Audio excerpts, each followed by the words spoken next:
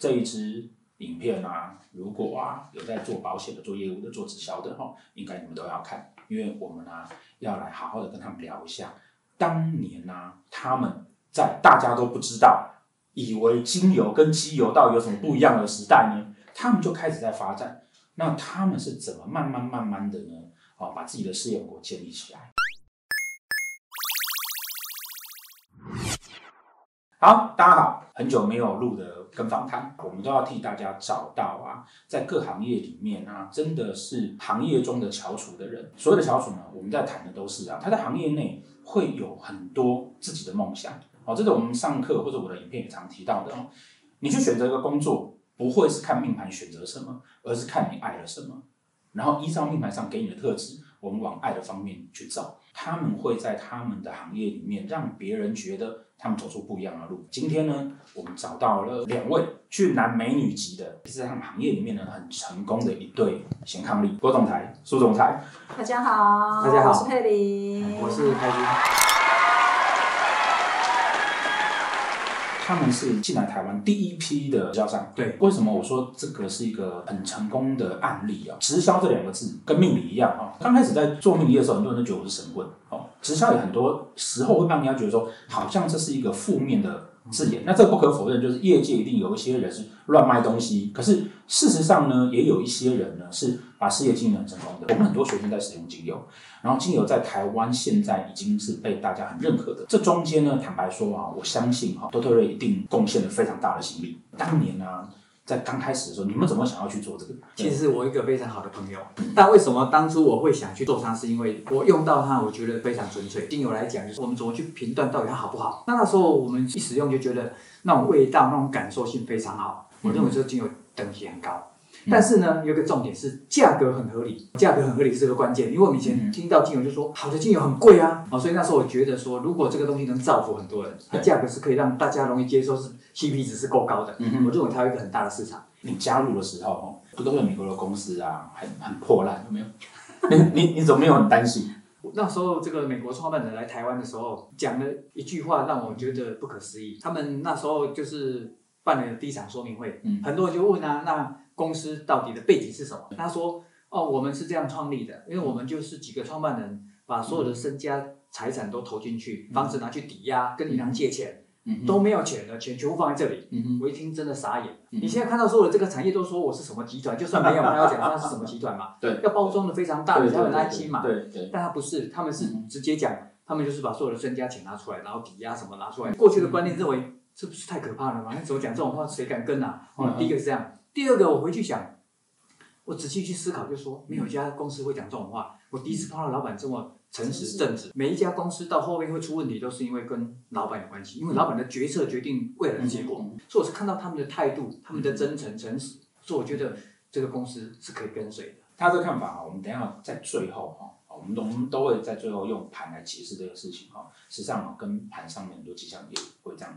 的特质，所以你们一直都是老公要干嘛就夫唱妇睡这样吗？还是你当初有阻止过他？像开俊他是一个就是能力很好，然后在工作上面表现又是非常优异的，所以其实他周围会有很多的机会，就是很多人会来找他啦，是不是可以协助我啦，帮我发展个呃哪个产业啦，我的商品啦，所以其实他本身已经很忙碌，再加上那时候当时呢，我们自己有一家顾问公司，然后也代理了一个德国抗老化的一个商品。好，然后还要帮朋友的一些行销上面的一些规划，所以其实已经非常的忙碌。我的部分其实就是在他的后端做一些比较关于行政啊好的处理跟安排嘛。印象很深刻，多特瑞刚开始他要经营的时候，我是有点小担心的。嗯，我就啊，我又要多一件事情了嘛，哈，还要再去经营这个产业吗？到底是可以还是不可以？好还是不好？我想很多人的另一半哈会有这种就是担忧。对。担忧不是说我们会担心他这个是不是一定可以成功的，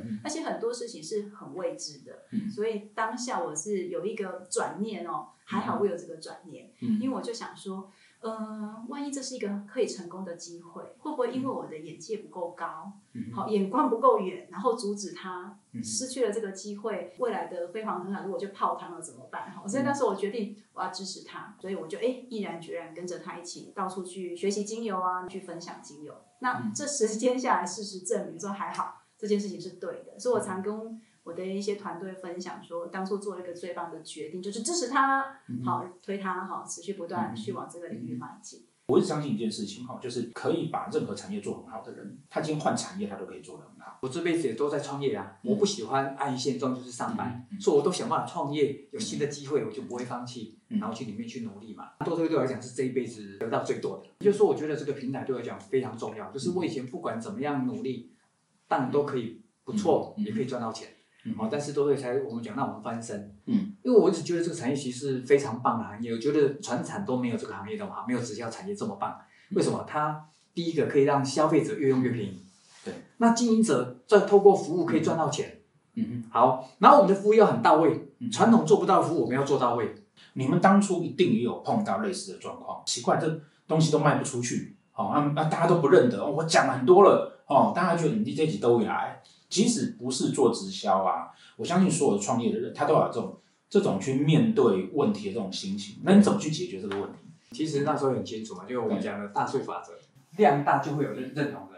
对，我相信一定是这样。对，所以前面如果认同不多怎么办？我就把量放大，就是分享的人多嘛。嗯。有的人会很快接受，有人接受很慢啊。嗯。怎么办？我总不能马上改变他嘛。对。那我就变成我要积极。对。好，那把量放大就会碰到对的，我就会有信心，我也会有结果。这是第一个我能做的嘛。就是我要分，分分享的人越多，好，然后当然要很真诚，然后发自内心关心别人。很多人会很急，因为他急着要赚钱。对，所以我觉得这个行业你不能急着要赚钱。如果你用这种心态，你就会适得其反，就是会让别人很大的压力。我觉得你要很有耐心，嗯，对，你要写，你要让别人慢慢去了解，看到你的态度，看到你的真诚，而且东西真的让人感受到是好的。你要有方法，好，但我们讲的这个积极不心急啊，我们常讲哦，心急的就。结果就不好了。但是你行为是积极的，如果你有能抱这样的心态去把时间拉长，把量放大，我相信你会慢慢看到一些成果，并不是像过去说传销可以快速致富啊。我觉得那个观念给人家有还是错误。要真的要当成创业一样，我觉得传销其实跟创业是一样的，就是跟传统创业一样。其实有时候比传统创业还要更更花费更多的时间跟精力，但是它不需要很庞大的资金。你没有资金的，你要创业真的它是一条路。那你传统创业是不是很辛苦？一样很辛苦，但是你要资金，我觉得这是不同的地方。第二个就是说，传统做越大，资金越大，你才能做越大。那你除了你有足够财力，跟心脏够大，你还敢再投资才能更大。可是这个行业不用，你只要从头到尾做一样的事，它就会越滚越大，越滚越大。这是它的优势啊。但是它前面的心态其实跟传统创业是一样，甚至有时候更辛苦的。但是结果是不一样的。那我觉得万事起头难，任何一个成功都有一个很卑微的开始。那只要你真的是看到，你相信说这是一个机会，那你也在。其实，在我们的公司有很多真的是很平凡的人，透过这个平台去成功，甚至翻转他的生命。有时候我们会觉得，哎，他可以，我们应该也也可以。那你真的按照这个流程去做，按照这个步骤去做，你就会看到这样的一个结果。那我们当初做也会有困难啊，我们也是有挑战啊。我也跟我的团队说，老天爷没有对我们比较好，哎，他没有说给我们都是比较比较好的 case，或者是比较正面的事情，我们也会是。也会碰到，哦，但是意思就是因为这样才精彩啊！有很多人哦对直销有负面的想法，就像很多人对命有负面的想法一样嘛。嗯哦，很多人也对我有负面的想法。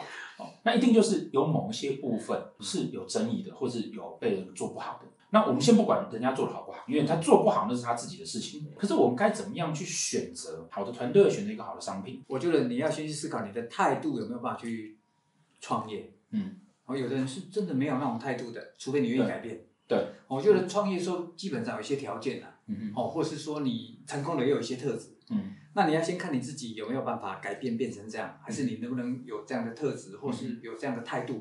那如果没有，你愿不愿意去改变做这些事？如果你都不愿意，我觉得那当然也很难哦，因为我们不能说。都是讲那些很好听的话，说，嗯，你只要轻轻松松就能成功，其实进来就成功了。我觉得听起来没那回事。哎，真的，我们常听到直销这样讲。对，那是不可能的。你你会直接这样跟人家讲说，啊，你卖来后啊，你会这样？我我会跟人家讲说，你不可能轻轻松松，你要很辛苦，嗯，你一定会经过很多挫折那个过程才有可能。我不会告诉他说这么简单就也不可能。你要在这边成功，你要准备付出一些代价，就成功的代价你要准备好，一定会有。我不能骗你说没有，那是不可能的。哦，那就是我骗你，所以一定要经过那个过程。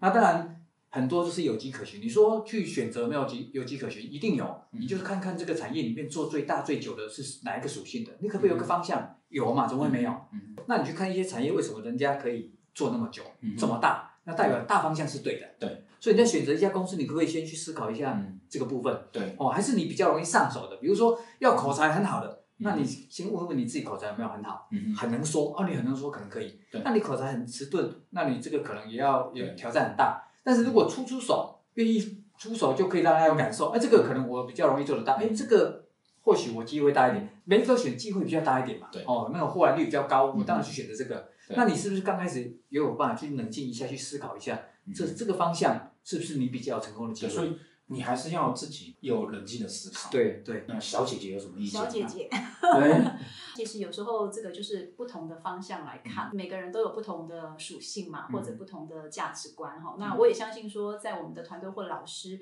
他都希望我们可以成功。那有时候是因为立场的不一样，嗯我们可以去判断，如果这个方式我不太喜欢，那我们先去看看这个方式到底是不是对的。如果不对，当然我们不要去追随啊。嗯那你怎么去判断对跟不对？你就看在这个公司里面，就是在比较呃高阶或者呃成绩做的比较好的，嗯它的方向是属于哪一种方向？嗯，它的方法是属于哪一种方法？嗯如果不一样，那你就会去思考，或许这个方式就是不对的。嗯好，那如果是是相同是好的，可是对你来讲你可能做不来，嗯这个时候你怎么办？哈，那我觉得你可以跟上面的老师或者是团队做一个良性的沟通。嗯可能对于你这个方式比较不可以，哈，那你可不可以换另外一个角度，或者呃依你自己的属性去打造一个你可以往前走的方向？嗯因为我觉得精油那么好，我我觉得每个人都可以把它做得很棒，嗯一定是没有找到适合你自己走的路。嗯有时候良性的沟通还是很重要。如果上面老师真的很糟，那怎么办？当然，我们一定是劝和嘛，哈，就是你可以留下来，你可以去走出你自己的一条路。嗯因为我曾经在一个演讲当中，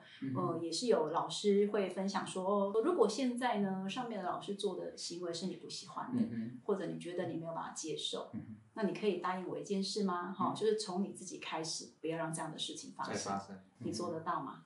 嗯你不要往上看，你要往下看。对，我不喜欢这个行为，但是我就不要把这个行为往下传下去。上面对我们的帮助，如果有，那就是我们很幸运，我们多得到这一个帮助。那如果没有呢，也很正常。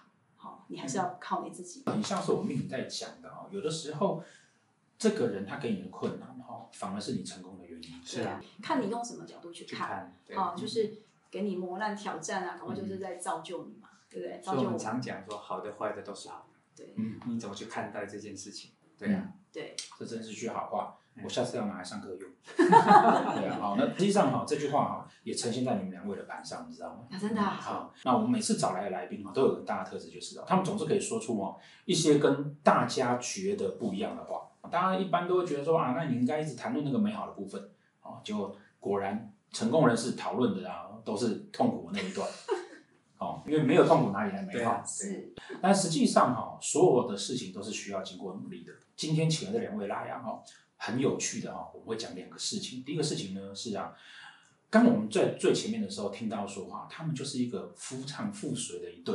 就老公说要干嘛，老婆只能那个扭捏一下，然后他就去。哦，为什么呢？哦，很有意思的是啊，哈、我们发现啊，他们两个人呢，哈、的命盘是颠倒盘，也就是说呢，老公的命宫刚好会是老婆的迁移宫，老婆的迁移宫刚好是老公的命宫。哦，那这个呢，我们都知道说迁移就是你的内心，也就是说呢，他的人生就是我内心想的。所以虽然说那个会稍微的有点怀疑一下，但是呢，我就会很愿意的支持彼此。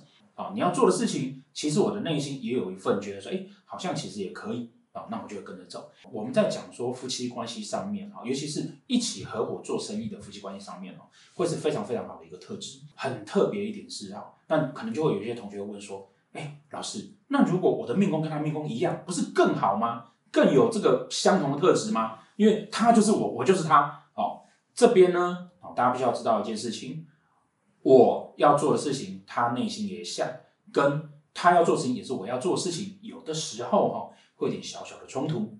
哦，什么叫小小的冲突呢？如果他要当皇帝，那我也要当皇帝；他要当太阳，我也要当太阳。这个时候，天底下不可能会有两个太阳，一山不容二虎。除非那是母老虎。哦，所以呢，这种颠倒盘反而在合作事业上面是非常非常好的。那另外一个事情哦，就是今天的主轴就在谈事业的部分。他们两夫妻是一起工作的，而且一刚开始是那个老公打算要这样做的哦。所以我们主要今天来看老公的部分啊。博拉哥的那个盘哈，它是紫微天象对宫是破军，而且它。这边还有个地劫，还有天星。传统上面哈，那个网友，如果你随便去网上 Google，你就发现这个叫造反之局，然后还带两个煞，怎么看就是一个很烂的盘，或是一个人生颠簸，或是一个不好，反正就是没有一句好话。哦，但我们这边常这样子啊，其实人生不会是像命理所想的这个样子，而是你必须要去找到适合你的路。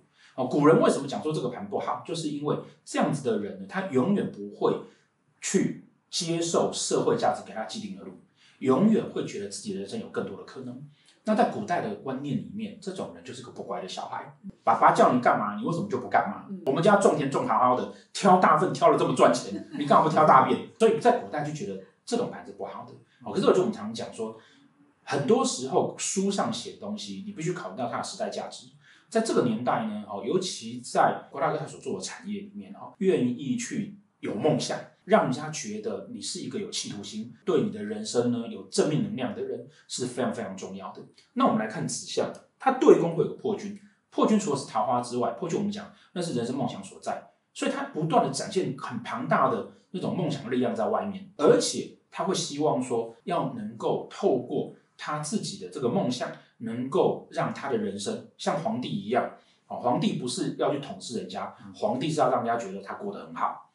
而且要给他周围的人知道，所以他旁边有个天象星。这个盘，坦白说，如果有看我的文章或者是看我的那个影片的人，就会知道说，我们常谈到这个盘很适合去做直销跟保险哦，因为这都很注重人跟人之间的关系。我们有跟瓜哥聊到说，他开始去接触到多特瑞的时候，刚好在他四十岁左右，也就是在在他这个陀螺的这个大线，然后对宫呢刚好是太阳跟太阴，刚接触的时候应该同时手上有事业。